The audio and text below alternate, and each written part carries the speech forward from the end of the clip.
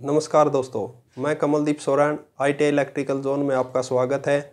आज हम इल्यूमिनेशन के ऑब्जेक्टिव क्वेश्चन आंसर करेंगे।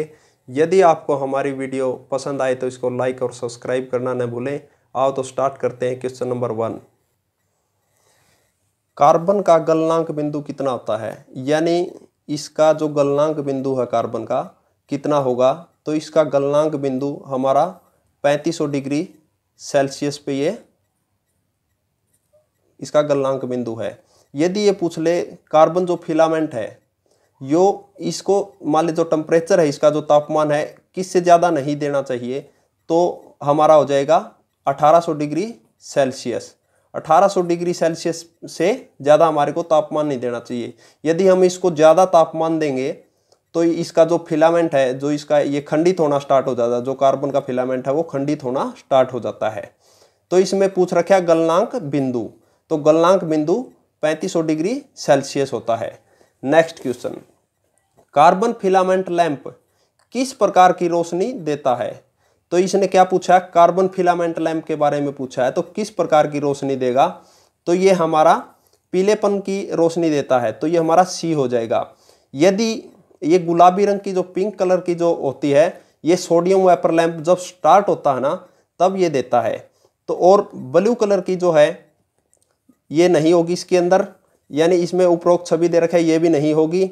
और यदि सोडियम वाइपर लैंप भी यदि पाँच से दस मिनट बाद यदि पूछते हैं, पूरा जलने के बाद तो कैसी रोशनी देता? वो भी पीलेपन रंग की रोशनी देता है। यदि पूछ लेते हैं कार्बन जो फिलामेंट लैंप होता है, यदि ये पूछ लेते हैं, ये प्रकाश के लिए यूज़ होता है तो ये प्रकाश के लिए यूज़ नहीं होता, ये टेम्परेचर यानी ताप के लिए यूज़ किया जाता है इस प्रकार का लैंप को। अब पूछ लिया टंगस्टन का गलनांक बिंदु। एक टंगस्टन जो है ये रोशनी के लिए यूज़ किया जाता है तो इसका चौंतीस डिग्री सेल्सियस पे ये क्या करेगा? इसका गलनांक बिंदु है।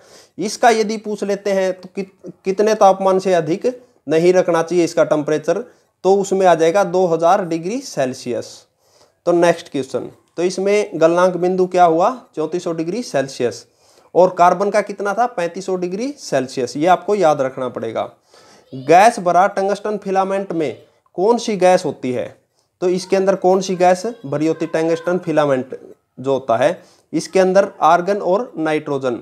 तो हमारा क्वेश्चन सी हो जाएगा। यदि ओनली आर्गन दिया हुआ था तो हम आर्गन पे करेंगे। यदि ओनली नाइट्रोजन दिया गया है तो नाइट्रोजन सोडियम गैस इसके अंदर नहीं होती है।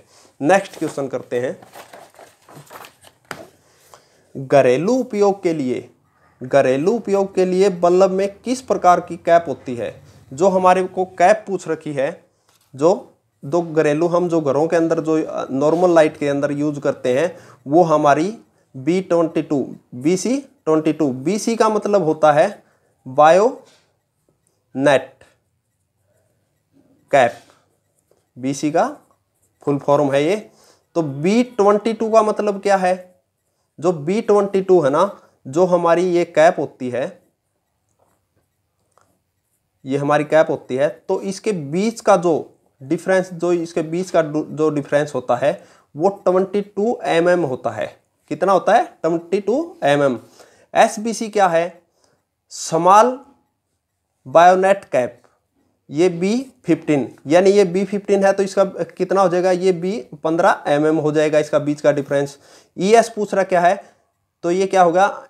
ईडीएम स्क्रू स्क्रू की होती है, जो स्क्रू टाइप होता है ना, जो हमारा कैप होती है, जो स्क्रू टाइप की। ऐसे, ये उसके अंदर होती है स्क्रू टाइप में कौन से? H P M V lamp में यूज़ होती है। तो इसमें H P M V lamp में पूछ लेते हैं तो ई ट्वेंटी सेवन करना पड़ेगा हमारे को।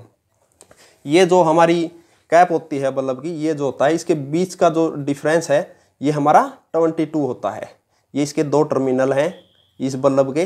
तो ये हमारे नॉर्मल घरों के अंदर जो यूज़ कैप होती है बी ट्वेंटी टू होती है। तो इसका ये ऑप्शन हो जाएगा सी आर्क लैंप का उपयोग कहाँ किया जाता है?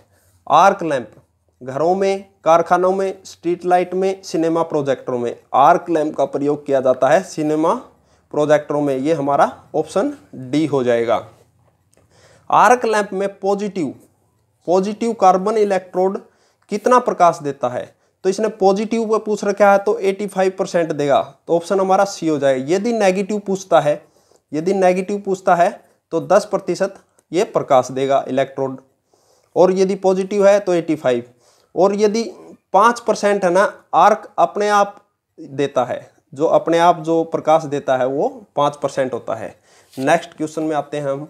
डीसी आर्क लैंप में प्रयोग किया जाता है। यानी डीसी आर्क लैंप जो होता है, उसके अंदर कौन सा प्रयोग किया जाता है? इंडक्शन किया जाता है या सेल्फ इंडक्शन या ब्लास्ट रेजिस्टेंस या म्यूचुअल रेजिस्टेंस?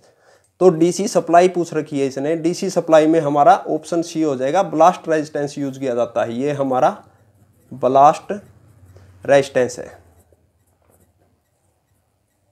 तो ये क्या है? ये हमारी पॉजिटिव इलेक्ट्रोड है और ये हमारी नेगेटिव इलेक्ट्रोड है। तो यहाँ तो ये हमारा 10 प्रतिशत देगा और पीछे वाले नेक्स्ट सेवन क्वेश्चन में था ना, इसमें ये 85 परसेंट देगा। और ये कहाँ यूज़ होते हैं? सिनेमा प्रोजेक्टरों में यूज़ होते हैं और सर्च लाइट में प्रयोग किए जाते हैं आर्क लैंप नेक्स्ट क्वेश्चन कौन सा बल्ब सीधे फिलामेंट में से प्रकाश देता है? जो सीधे फिलामेंट से फिलामेंट में से जो प्रकाश देता है, कौन सा है?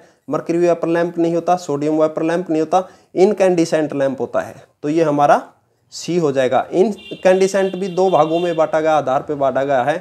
कार्बन फिलामेंट और टंगस्टन फिलामेंट एक ज़ीरो वाट का बल्ब इसने पूछ रखा है ज़ीरो वाट का बल्ब की खपत कितनी है? यानी कितनी पावर लेता है ज़ीरो वाट का बल्ब तो यदि हम किसी को पढ़ा नहीं होगा, ये सोचेगा ज़ीरो वाट का है तो बिल्कुल भी खर्च नहीं लेगा, कोई पावर नहीं खर्च करेगा। तो कई बार क्या करते हैं ऑप्शन ए कर देंगे कि भाई कोई भी पावर खर्च नहीं होता, ये तो ज़ीरो वाट का। लेकिन ज़ीरो वाट का जो बल्ब होता है, पाँच से दस वाट का होता है, ये ऑप्शन हमारा बी होगा। और जो हमारा ये जो फ्लोरोसेंट ट्यूब में पूछ लेते हैं तो फ्लोरोसेंट ट्यूब में हमारी 40 वाट की होती है। तो थैंक यू आज के लिए वीडियो इतनी है। नेक्स्ट वीडियो फिर बनाएँगे हम। यदि आप